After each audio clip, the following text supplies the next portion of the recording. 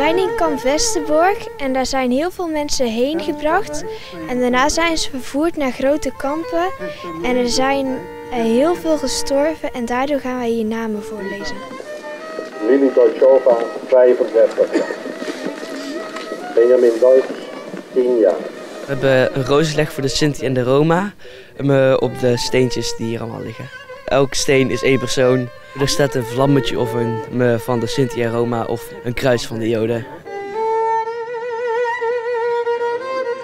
Ik vind het wel een hele eer, maar ik vind het ook allemaal heel gek. Want hier hebben toen heel veel mensen gezeten die allemaal nu niet meer leven.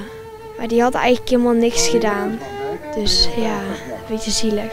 Lambertus Doornberg, 44 jaar. Flora Doornheim, groen, 26 jaar. Jacob Dresden, 64 jaar. Samuel Benjamin Dresden, 9 jaar. Evalina Drieduizen Okkersen, 51 jaar. 75 jaar om te vergeven. Laat het rusten, hoor ik mensen zeggen. Je hebt het zelfs niet meegemaakt. Vergeet de verhalen van je ouders, het is voorbij. Het klopt wat ze zeggen, dat weet ik wel. Ik weet het, maar niemand weet wat de verhalen van mijn ouders met mij hebben gedaan. Steeds weer zie ik mezelf als klein kind. Acht jaar, de tranen van mijn vader drogend.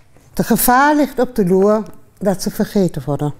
De verkrachtingen, de mishandelingen, de experimenten, de sterilisaties. De schaduw die blijft mij achtervolgen. Ik kan niet vergeven en ik kan ook niet vergeten. Rita Ritter, 45 jaar. Rosetta Frederica Ritter, 19 jaar. Salomon Ritter, 15 jaar. Ik vond het heel heftig. Ik kreeg kippenvel van gewoon. Dat je als zo'n kind toch de tranen van je ouders ziet, is toch eigenlijk best erg. Dat kun je ook niet verwerken, denk ik. Ik wist niet dat er ehm, benen gebroken waren bijvoorbeeld.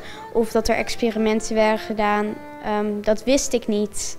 Ehm, er werd wel een beetje gezegd, maar wat er echt wel is gebeurd, wordt niet gezegd in een les. Ik vond het best heftig wat dan de Duitsers eigenlijk deden. Dat je eigen vader en moeder zoveel pijn is gedaan. Dat lijkt me heel raar. Marcus Dormits, 50 jaar. Maurits Dormits, 15 jaar.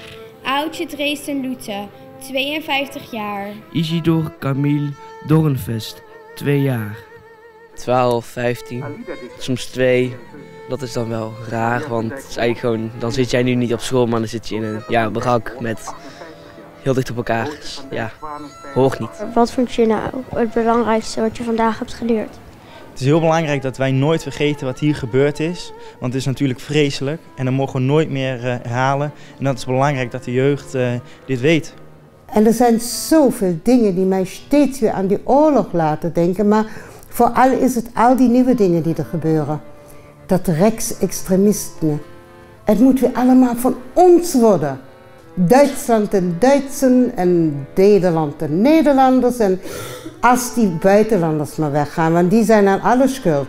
En als hun weg zijn, dan wordt alles beter. Ik denk niet dat het zo is, want het heeft al eens eerder is dat misgegaan.